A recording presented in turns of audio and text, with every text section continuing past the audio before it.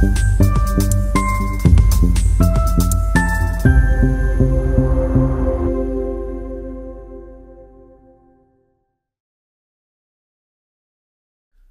وسهلا بكم في المختصر المفيد. الفيديو ده هيكون مقدمة عن التنفس الخلوي. بس قبل ما نبدأ محتاجين نميز ما بين مصطلحين مهمين. المصطلح الأول هو التبادل الغازي والمصطلح الثاني هو التنفس الخلوي. التبادل الغازي هو عبارة عن التبادل ما بين غاز الأكسجين وغاز ثاني أكسيد الكربون بس لا أكتر ولا أقل. يعني بيدخل أكسجين وبيخرج غاز ثاني أكسيد الكربون. والموضوع ده بيحصل عن طريق الجهاز التنفسي في الكائنات عديدة الخلايا زي الإنسان كده مثلا. أو ممكن يحصل في الكائنات اللي بتتكون من خلية واحدة بس. وهي إنها بتاخد الأكسجين وبتطلع ثاني أكسيد الكربون. إنما التنفس الخلوي هو عبارة عن عملية معقدة شوية لأن التنفس الخلوي هو عملية حيوية بتقوم بيها الخلايا علشان تقدر تحصل على الطاقة من الطعام اللي بتتغذى عليه الكائنات الحية. يعني الكائن الحي بياكل الطعام بتاعه على سبيل المثال نشا مثلا والنشا ده بيتكون من العديد من الجلوكوز.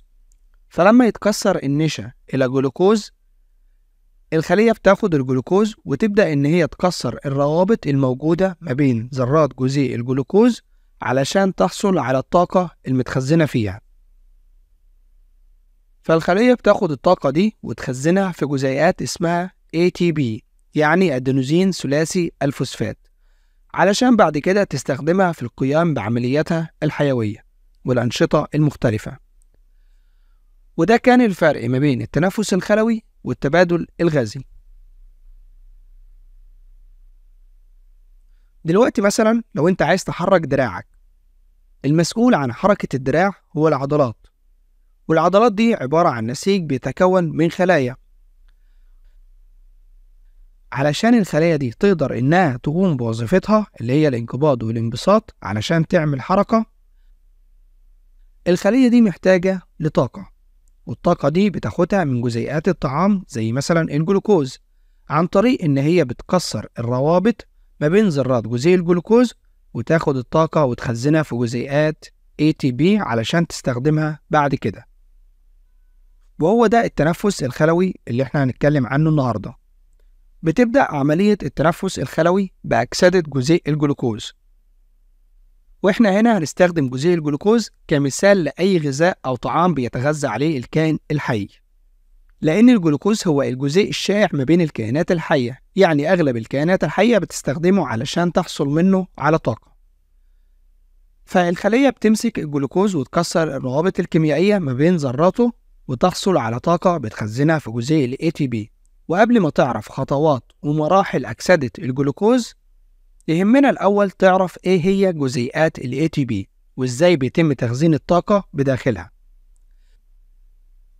جزيء ال ATP بيتكون من ثلاث أجزاء رئيسية. الجزء الأول هو قاعدة نيتروجينية اسمها الأدينين والأدينين ليه خواص قاعدية. والجزء الثاني هو سكر الريبوز وده سكر خماسي الكربون يعني بيتكون من خمس كربونات واللي بيدخل برضه في تكوين نيوكليتيدة ال RNA وسكر الريبوز مع قاعدة الأدينين مع بعض كده الاتنين بيطلق عليهم اسم أدينوزين. الجزء الثاني من ال ATP هو عبارة عن ثلاث مجموعات فوسفات.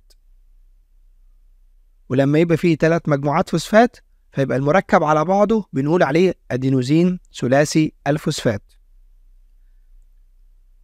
وبيتم تكوين جزيء ال ATP من جزيء تاني اسمه ADP يعني أدينوزين ثنائي الفوسفات. وده بيكون موجود في الخلية عادي خالص بصورته العادية اللي هو أدينوزين وبيحتوي على اتنين فوسفات بس. ولما الخلية بتحصل على طاقة من أكسدة الجلوكوز بتخزن الطاقة دي في الرابطة اللي بتربط بيها ال ADP مع مجموعة الفوسفات التالتة علشان يتحول بعد كده ال ADP ومجموعة الفوسفات التالتة إلى جزيء جديد وهو ال ATP ولما بتحتاج الخلية تاني للطاقة بتكسر الرابطة وبتاخد الطاقة منها وبيرجع ال ATP بعد كده إلى ADP زائد مجموعة فوسفات. علشان كده ال ATP هو عملة الطاقة في الخلية وده بسبب سهولة الحصول على الطاقة منها. لما الخلية بتحتاج لطاقة بتجيب ال ATP وبتكسر رابطة مجموعة الفوسفات التالتة وبتاخد الطاقة. الطاقة المنطلقة دي بتكون حوالي من 7 إلى 12 سعر حراري كبير لكل مول. نرجع بعد كده لموضوع أكسدة الجلوكوز والتنفس الخلوي. التنفس الخلوي في منه نوعين تنفس خلوي هوائي وتنفس خلوي لا هوائي. ومن اسمهم بنعرف إن التنفس الخلوي الهوائي بيحصل في وجود الهواء يعني في وجود الأكسجين. والتنفس الخلوي اللاهوائي بيحصل في غياب الهواء يعني في غياب الأكسجين. التنفس الخلوي الهوائي بينتج عنه 38 ATP يعني 38 جنيه. والتنفس الخلوي اللاهوائي بينتج عنه 2 ATP بس. علشان كده الطريقة الرئيسية اللي بتحصل منها الخلية على طاقة هو التنفس الخلوي الهوائي لأنه بيدينا 38 ATP إنما التنفس الخلوي اللاهوائي بيدينا بس 2 ATP وهنشرحه بعد كده. معادلة التنفس الخلوي الهوائي بتكون كالآتي. بناخد الجلوكوز اللي هو رمزه C6H12O6 زائد 6 أكسجين اللي هو رمزه O2 فبيطلع لنا ثاني أكسيد الكربون اللي هو CO2 زائد المية اللي رمزها H2O زائد 38 ATP المعادلة دي بتلخص طريق طويل واللي لسه هنمشي فيه خطوة خطوة. الطريق ده بيشمل ثلاث مراحل وهي مراحل أكسدة الجلوكوز. المرحلة الأولى من أكسدة الجلوكوز اسمها انشطار الجلوكوز. والمرحلة الثانية اسمها دورة كريبس. والمرحلة الثالثة هي سلسلة نقل الإلكترون. الثلاث مراحل طبعا بتحصل داخل الخلية ولكن بيختلفوا في أماكن حدوثهم. يعني المرحلة الأولى واللي هي انشطار الجلوكوز بتحصل في سيتوبلازم الخلية بالتحديد في مكان غير عضي اسمه السيتوزول. وغير عضي المقصود منها إن هو مش بيحتوي على عضيات. يعني جزء فاضي في السيتوبلازم مش بيحتوي على عضيات بيطلق عليه اسم السيتوزول. بيحصل فيه عملية انشطار الجلوكوز اللي هي المرحلة الأولى من أكسدة الجلوكوز. والمرحلة الثانية والثالثة واللي هي دورة كريبس وسلسلة نقل الإلكترون بتحصل داخل الميتوكوندريا. بتحصل داخل الميتوكوندريا بسبب توافر شروط حدوثهم فيها. لأن الميتوكوندريا بتحتوي على خمس حاجات مهمين بنحتاجهم في دورة كريبس وسلسلة نقل الإلكترون. والخمس حاجات هم المية والفوسفات وإنزيمات التنفس ومرافقات إنزيمية. ومن أهم المرافقات الإنزيمية هم الناد موجب والفاد. مرافق الإنزيم فاد بيكتسب 2 هيدروجين فبيتحول إلى فاد H2 ومرافق الإنزيم NAD موجب بيكتسب 2 هيدروجين والهيدروجين شحنته سالب. فبتروح هيدروجينة واحدة من الاتنين هيدروجين مع الشحنة الموجبة اللي هي NAD موجب ويطلع لنا NADH بس. يعني ال NAD موجب بيكتسب اتنين هيدروجين ويتحول إلى NADH بيتم تخليق جزيئات ال NAD بواسطة فيتامين B 3 وبيتم تصنيع جزيئات ال FAD بواسطة فيتامين B 2 علشان كده الفيتامينات دي بيكون ليها أهمية كبيرة في المواد الغذائية اللي بنتناولها. وبرضه بعد كده ال NADH بيدينا 3 ATP وال FADH 2 بيدينا 2 ATP هنحفظهم زي ما هما كده وهنفهمهم بعدين. وآخر حاجة بتحتوي عليها الميتوكوندريا هي جزيئات حاملات للإلكترون اسمها السيتوكرومات بحيث إن هي بتحمل الإلكترونات على مستويات مختلفة من الطاقة.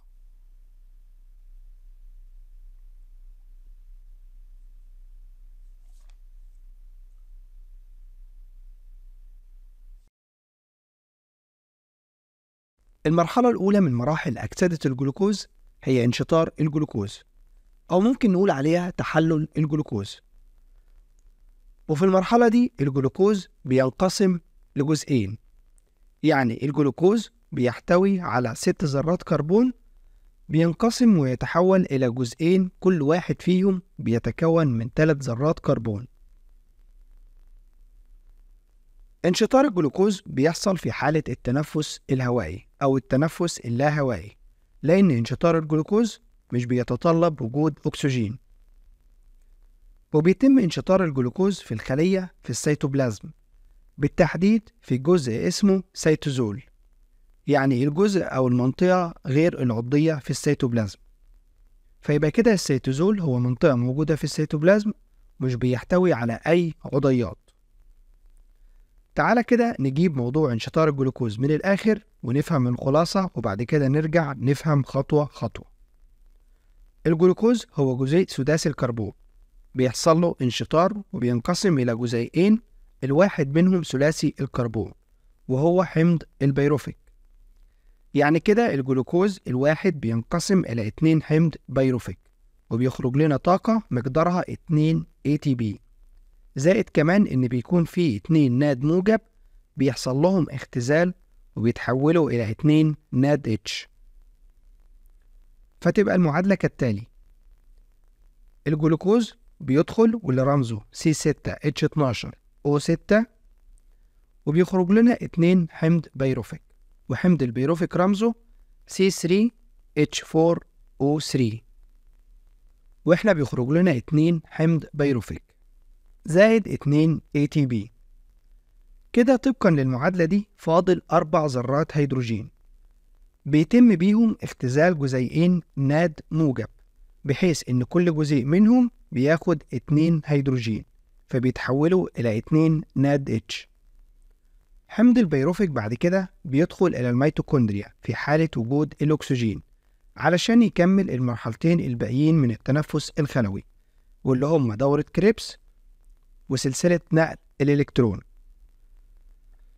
بس علشان حمض البيروفيك يدخل إلى الميتوكوندريا لازم ياخد معاه تذكرة الدخول واللي هي الأكسجين. لكن لو مفيش أكسجين مش بيدخل حمض البيروفيك للميتوكوندريا ويبقى كده تنفس لا هوائي وهنشرحه بعدين. المهم دلوقتي تعالى نفهم مجموعة التفاعلات اللي بتحصل أثناء انشطار الجلوكوز. قلنا إن الجلوكوز فيه ست ذرات كربون هنرقمهم من واحد لستة. علشان نكسر الروابط بين ذرات الجلوكوز محتاجين لطاقة. بناخدها من جزيء ال ATP فبنمسك جزيء ال ATP ناخد الطاقة اللي فيه فبيتحول إلى ADP زائد مجموعة فوسفات. مجموعة الفوسفات دي بتمسك في ذرة الكربون رقم ستة في الجلوكوز فيبقى اسمه جلوكوز ستة فوسفات. بس الجلوكوز ما عجبوش الوضع ده علشان ما بيحبش حد يمسك فيه. فبيتحول إلى فركتوز ويبقى كده اسمه فركتوز ستة فوسفات. الفركتوز وضعه غير الجلوكوز. لما بيلاقي الوضع ده بيقولك طيب ما كمان مجموعة فوسفات من الناحية التانية. وعلشان نجيب له مجموعة فوسفات بنكسر تاني جزيء ATP ويتحول إلى ADP زائد مجموعة فوسفات. مجموعة الفوسفات دي بتمسك في ذرة الكربون رقم واحد فيبقى كده الفركتوز اسمه فركتوز واحد ستة فوسفات. لأن كده ذرة الكربون رقم واحد ماسك فيها مجموعة فوسفات وذرة الكربون رقم ستة ماسك فيها مجموعة فوسفات. الاتنين بيتخانقوا مع بعض وكل واحد بيشد من ناحيته فبينقسم الفركتوز واحد ستة فوسفات إلى اتنين جزيء اسمهم فيسفو جليسرالدهايد وجزيء الفيسفو جليسرالدهايد الواحد بيكون فيه تلاتة كربون. تعال نقول تاني كمان مرة علشان منتلخبطش إحنا قلنا إن جزيء الجلوكوز بيتحول إلى جلوكوز ستة فوسفات. بعد كده الجلوكوز 6 فوسفات بيتحول إلى فركتوز 6 فوسفات. وبعد كده بيتحول إلى فركتوز 1 6 فوسفات. الفركتوز 1 6 فوسفات بينقسم إلى 2 جزيء فيسفو فسفوجليسرالدهايد الجزيء الواحد فيسفو فسفوجليسرالدهايد بيحتوي على 3 ذرات كربون. وإحنا كده عندنا اتنين جزيء فيسفو جليسرالدهايد بعد كده الاتنين جزيء فيسفو جليسرالدهايد بيحصل لهم أكسدة فبيتحولوا إلى اتنين حمض بيروفيك وبينتج أربعة ATP فبنرجع الاتنين اللي استهلكناهم في الأول ويتفضل لنا اتنين ATP وبيحصل اختزال لاتنين جزيء مرافق إنزيم اللي هو اتنين ناد موجب فبيتحولوا إلى اتنين ناد اتش وبكده تنتهي مرحلة انشطار الجلوكوز.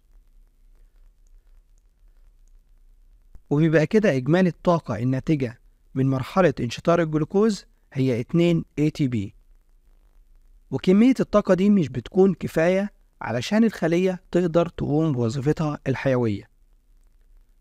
فبيبدأ حمض البيروفيك بعد كده يدخل إلى الميتوكوندريا في وجود الأكسجين علشان ينتج لنا طاقة أكبر من اللي تم إنتاجها في المرحلة الأولى. ومن هنا بتبدأ المرحلة الثانية من أكسدة الجلوكوز وهي مرحلة دورة كريبس.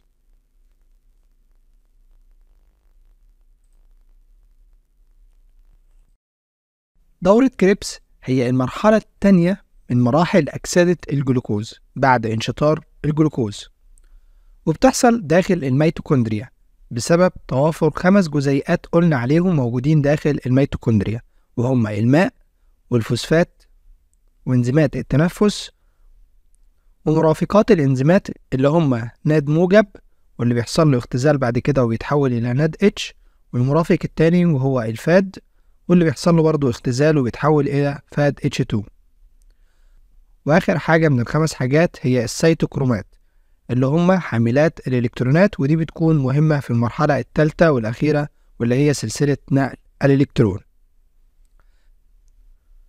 آخر حاجة اتكلمنا عنها هو إن الجلوكوز بيحصل له انشطار ويتحول إلى اتنين حمض بيروفيك زائد اتنين ATP زائد اتنين NAD موجب بيحصل لهم اختزال ويتحولوا إلى اتنين NADH فيبقى كده الطاقة المباشرة اللي حصلنا عليها من انشطار الجلوكوز هي 2 ATP ناخد بعد كده الاتنين حمض بيروفيك وندخل بيهم إلى الميتوكوندريا علشان تبدأ دورة كريبس. بس قبل دورة كريبس ما تبدأ بيبقى في مرحلة اسمها مرحلة تحضيرية. المرحلة التحضيرية دي اللي بيحصل فيها هو إن كل جزيء من حمض البيروفيك بيتأكسد علشان يتحول لمجموعة أسيتايل. وكلمة أكسدة بيكون ليها معنيين يا إما اكتساب أكسجين أو فقد هيدروجين. ما هو بالعربي كده الأكسدة دي يعني زيادة في الشحنة الموجبة. يبقى بتحصل يا إما باكتساب الأكسجين اللي بيكون شحنته موجبة أو بفقد هيدروجين اللي هو بيكون سالب. والأكسدة اللي محتاجينها النهاردة هي بتحصل عن طريق فقد الهيدروجين يعني فقد إلكترون سالب. الأكسجين مش بيكون ليه دور معانا غير إنه تذكرة الدخول إلى الميتوكوندريا. التذكرة اللي بيدخل بيها حمض البيروفيك إلى الميتوكوندريا علشان يكمل مراحل التنفس الخلوي الهوائي. المهم كده إحنا معانا اتنين حمض بيروفيك بيحصل لهم أكسدة وحمض البيروفيك ثلاثي الكربون.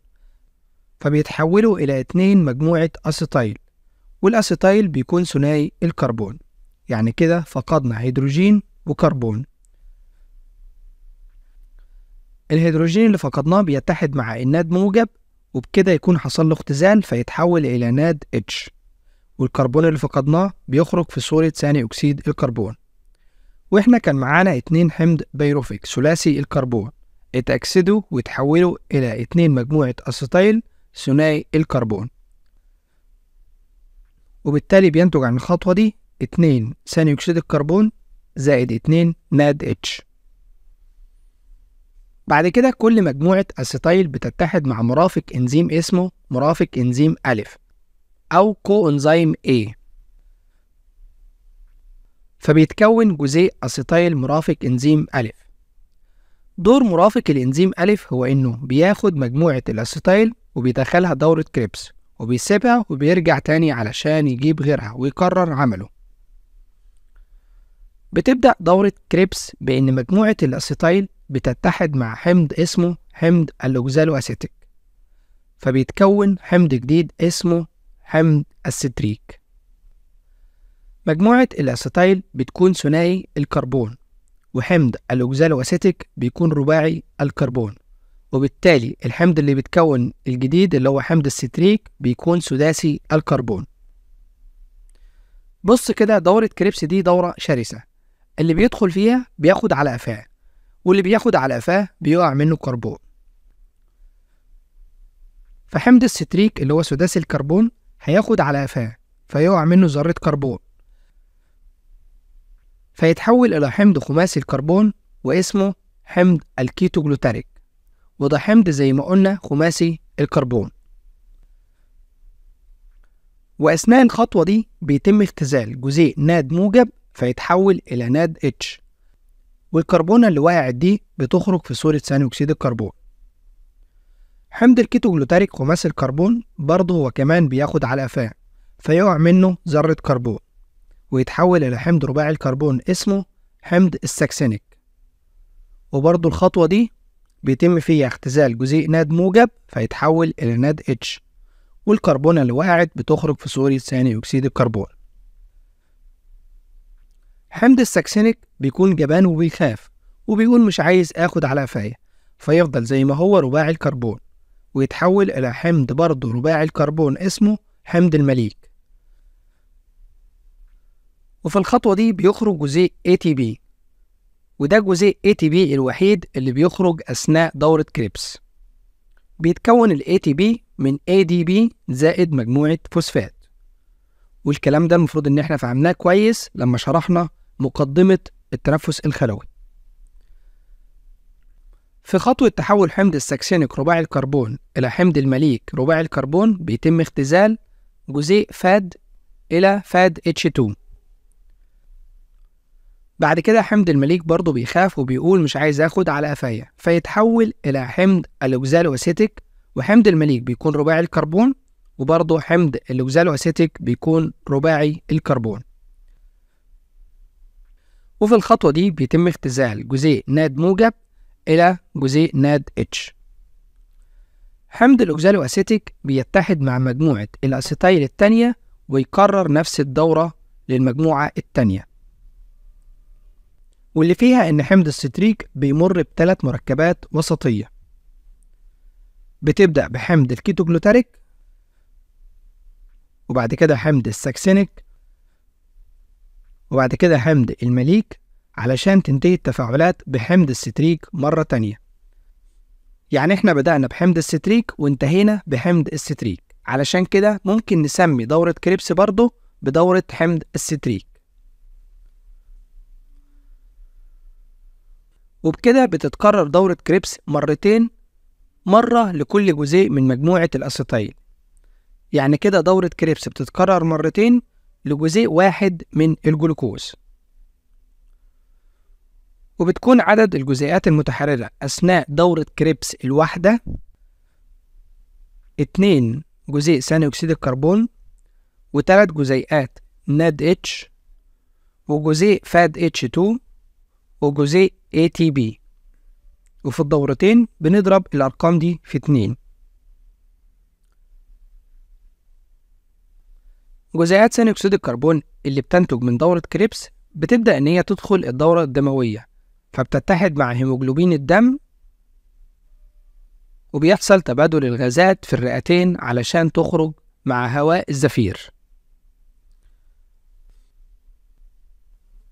فيبقى كده أهمية دورة كريبس. هو أكسدة ذرات الكربون خلال مجموعة من التفاعلات عن طريق إزالة إلكترونات.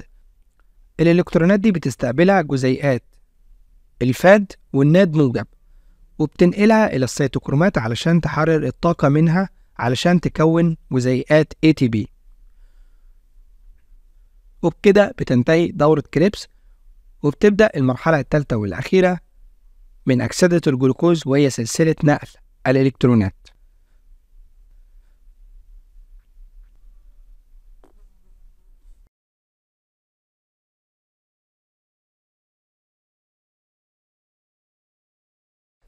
إحنا دلوقتي وصلنا للمرحلة الثالثة والأخيرة من التنفس الخلوي الهوائي. المرحلة اللي هنختم فيها شغلنا ونلملم أوراقنا ونعيد حساباتنا علشان نعرف لينا إيه وعلينا إيه. المرحلة دي اسمها مرحلة سلسلة نقل الإلكترونات. المرحلة الأولى كانت انشطار الجلوكوز وانشطار الجلوكوز بيحصل سواء كان في وجود الأكسجين أو في غياب الأكسجين. وبيتم انشطار الجلوكوز داخل السيتوبلازم بالتحديد في منطقة غير عضوية اسمها السيتوزول.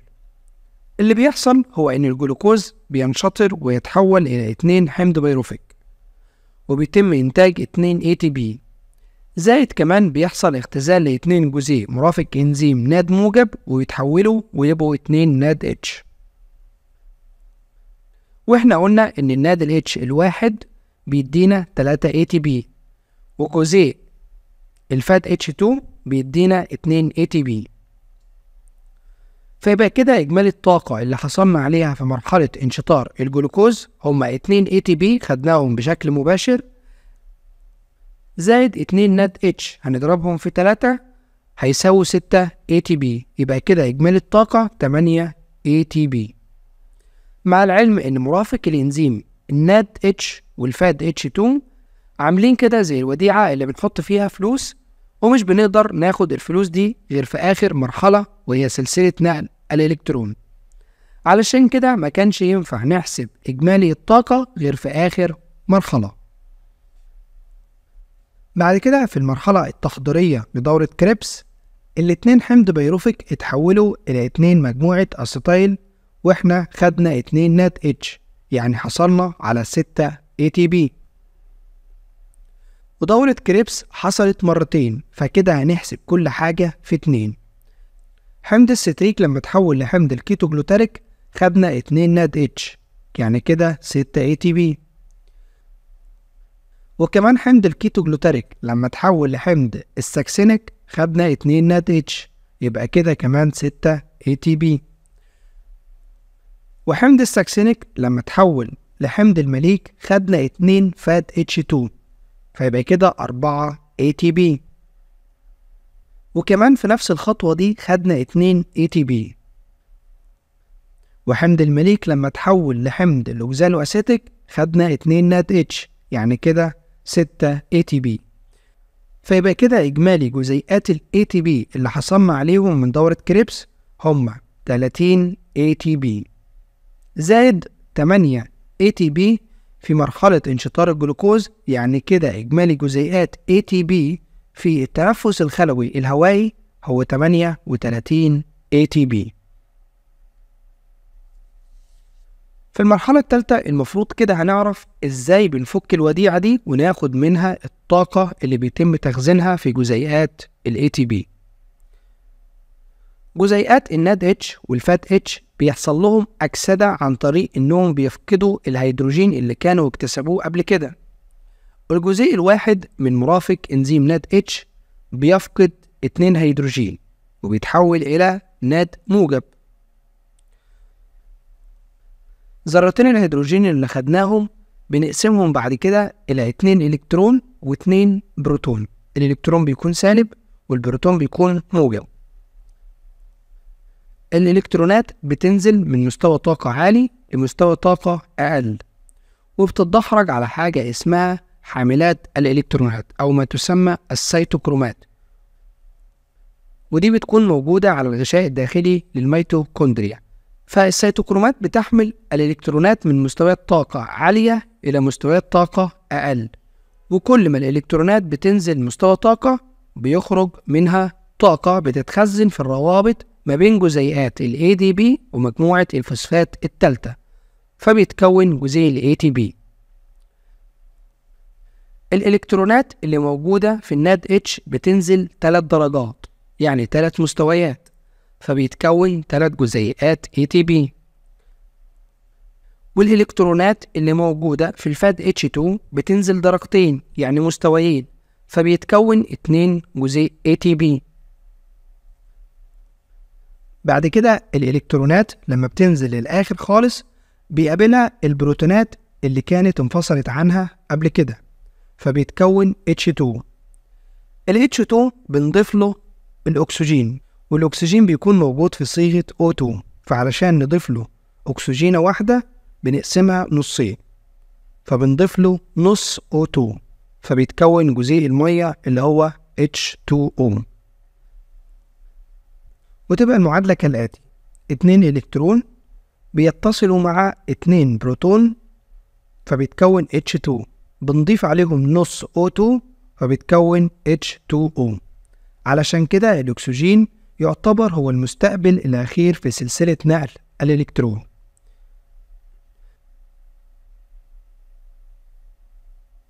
جزيئات الناد H والفاد H2 بيحصل لهم أكسدة عن طريق فقد هيدروجين. وبعد كده بيتكون جزيئات ATP من الطاقة اللي بتخرج من الإلكترونات فبتتخزن في الرابطة بين ال ADP ومجموعة الفوسفات التالتة. علشان كده العملية دي كلها كده على بعضها اسمها الفسفرة التأكسدية وبالتالي جزيئات المية بتتكون خلال الفسفرة التأكسدية وبكده نبقى خلصنا سلسلة نقل الإلكترونات وخلصنا معاها التنفس الخلوي كاملا بالكامل. ما تنسوش تعملوا لايك للفيديو وتشتركوا في القناة وتفعلوا جرس الإشعارات.